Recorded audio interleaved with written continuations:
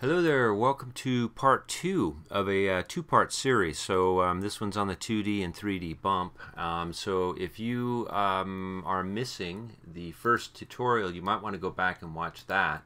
What we did basically is we created a, um, a texture and a bump um, for a surface. So let's go back, just take a quick look at what that looks like. And we'll go back and maybe just do a quick recap on the 2D bump.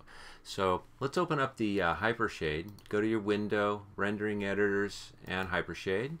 And here is basically all of the nodes um, that are connected to this sphere. So uh, what we want to do is just take a quick look back at the fractal. So I'm going to click on that in here. And we'll, let's go through one of these individually on the 2D and then we'll move on to the 3D, uh, a 3D bump. So first we have the place 2D texture and remember, this is where you find your attributes where you can rotate the frame a little bit or you can rotate the UV. Um, I'll do that now. I'm going to just put my render view over here and we'll sort of play with the rotate the frame. As you rotate your frame, you'll see it, it move to a different position over here. So you may have an image attached to um, you know a sphere and that's how you'd rotate that or you can rotate the, v, the UV on it. So um, just something to be aware of um, at the moment. Usually the defaults are fine, but sometimes you might need to play around with those a little bit to get the look you want. So anyway, there it is. So let's do this. Let's go and check the, the fractal where you found all of your attributes for your fractal, and then the bump 2D placement node where you can uh, increase your bump depth from here if you want and that basically will give you a little bit more definition in your bump or the appearance of a bump I guess I should say. Um, because sometimes with the 2D um, it is just that. It um, it renders out as a two-dimensional type of render but you can see where you don't really have um, you know any variance along the outer edge the outer perimeter so to speak. So anyway just something to be aware of. Okay let's get started on the bump 3D I'm going to come over here to the hypershade and I'm just going to basically clear the graph. So let's move that up here and we'll do clear graph. And that puts it all back into here. Now if I wanted to see the attributes and work on those again, a really easy way to do that is just to click on my Lambert 4 in here and then go to graph. And then let's look at the input and output connections. And that basically gets you back to this point. So now you can start you know working on some of these various other nodes. Okay? So right now we'll go graph, clear graph, and what I want to do is I want to create a bump 3D node. Now, one of the ways we're going to start is just using the simple Lambert. So I'm going to click on one of those. And this time, coming down here, I'm just going to leave the 2D texture as normal like that. But what we're going to do is we're going to go and choose a 3D texture underneath this 3D texture tab. And in this case, I think for the time being, I'm just going to try a solid fractal. That's sort of a standard. And you can try out some of these other ones like stucco or wood or something like that on um, messing around with it. So I'll choose fractal. Now, I'm going to move this over and we're going to see we have basically the same thing that happened with our 2D. So let's just line those up and take a look at those. Okay, so we have our solid fractal 1. Let's just make the connection now and we'll assign it to our object, uh, the plane, in just a second. So middle mouse button on top of the solid fractal, hover over the top of your Lambert 5 and drop it on the top there. And when you drop it you should get this um, this menu. Keep your menu up by moving the hand into there. And move down to the bump map and we're going to assign it right there. So I'm going to click on the bump map and voila it is now assigned. So that's what that's our Lambert 5 all right so we can do one of two things here. We could um, choose our our plane over here and we could drag and drop this Lambert 5 onto the plane or we can click on the plane and we can come over here and we can go to assign existing material Lambert 5 you can do it either way. I usually use a combination of both. Sometimes I need precision, so I might choose the uh, right mouse button option. So just something to know. Okay, well, as you can see, it has basically dropped that texture onto our surface. So um, a lot of times you might wonder, do I need to use 2D? Do I need to use 3D? And you know, 3D is always computationally more expensive, so um, you kind of have to pick and choose what area you're looking at and what area needs real three-dimensional detail because most of the time you know a simple 2D bump can work. But as you can see here we've assigned a I'm going to go back into my object mode and this is our plane. And if I come up here I'm going to move this up just a little bit so we can see something here. Move this up here. You'll see that when I add a 3D bump node um, the 3D is, is right here. This is the, the, the texture where it starts to appear.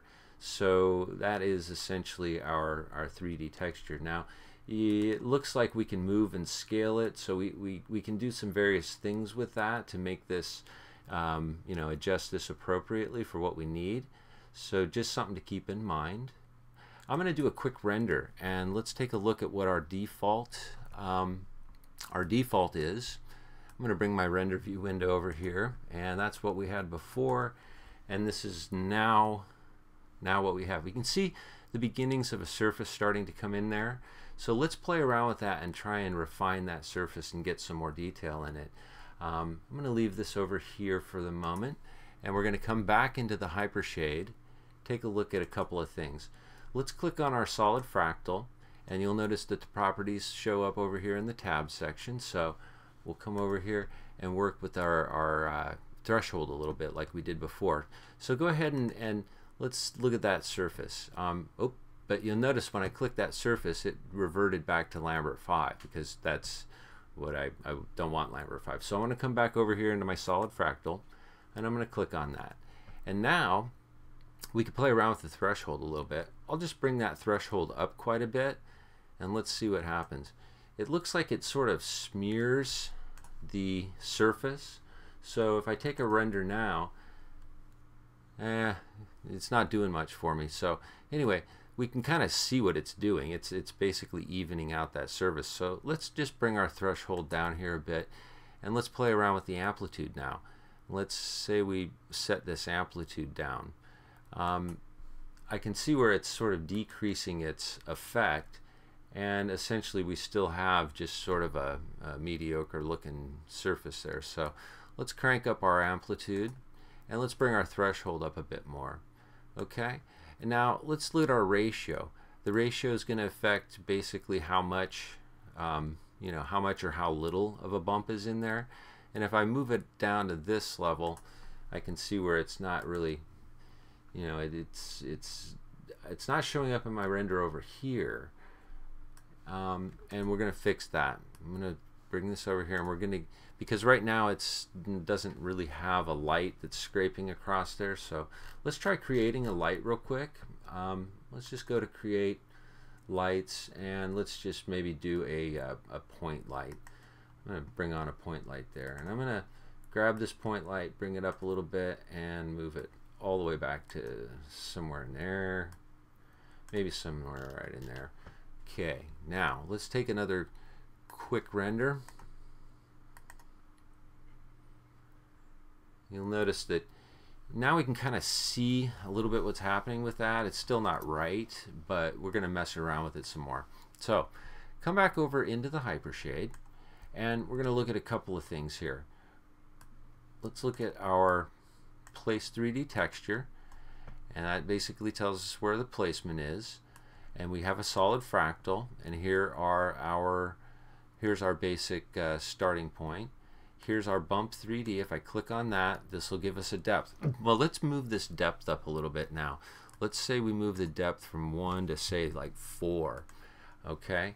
You can notice where it did change over here inside of there.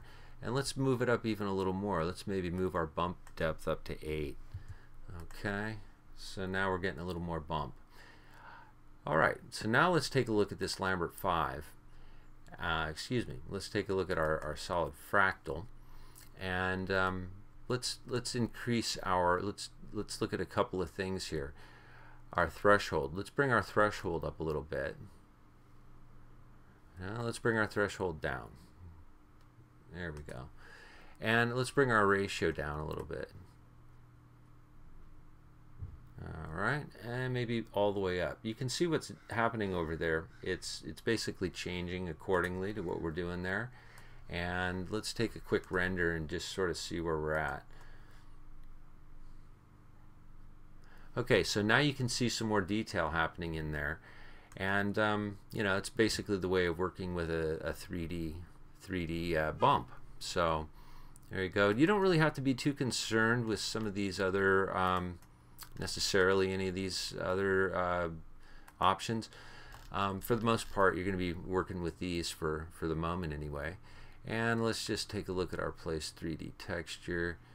Eh, everything's looking good. Okay, so now let's do one last thing. Let's go to this plane right here, and we know that that has the Lambert 5 um, as its, uh, as its, uh, there's a Lambert 5. Okay, now let's try something.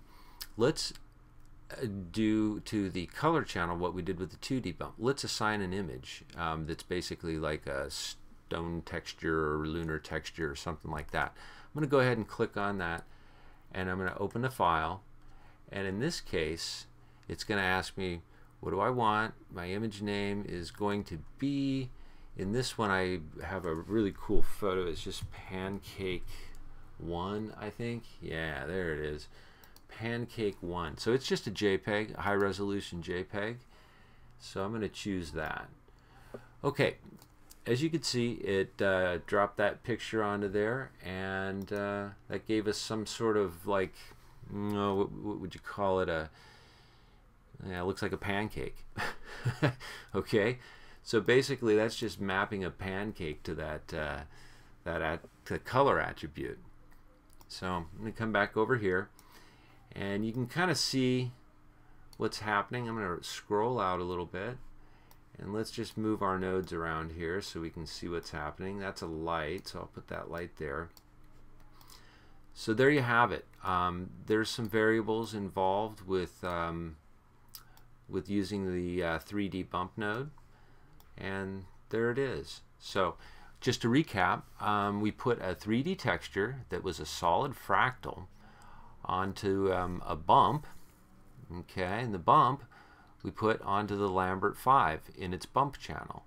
And then we placed a texture, basically this pancake, uh, this, this pancake picture on top for some color. So there you go. Um, you could fool around with this all day now. Uh, you could basically lower your, for example, if I click on this file 2, um, well, let's let's click on the uh, Lambert 5.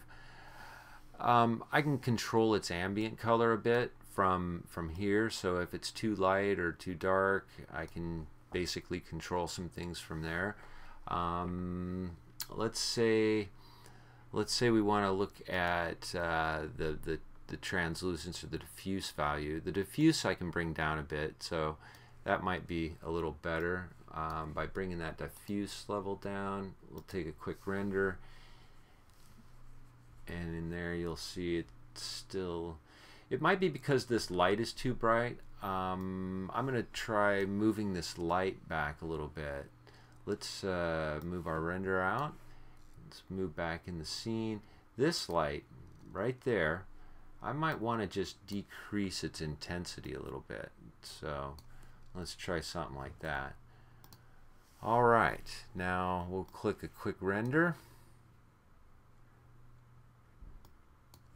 And you will notice that computationally your computer will slow down a little bit more when you start using 3D textures because they're a little bit more computationally expensive. So, so there you have it. Um, that's sort of the best of just uh, beginning basics of these two. So play around with those a lot. Um, you'll learn a lot, and um, they'll they'll help you out greatly in the future when you're trying to you know, assign some textures to surfaces. So works a lot better than just a standard image. So, and generally there's specific ways you um, prepare your textures before bringing them in um, and using them.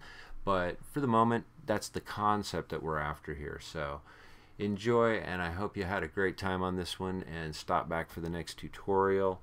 And uh, as always, read a book, learn something. Okay, thanks for watching.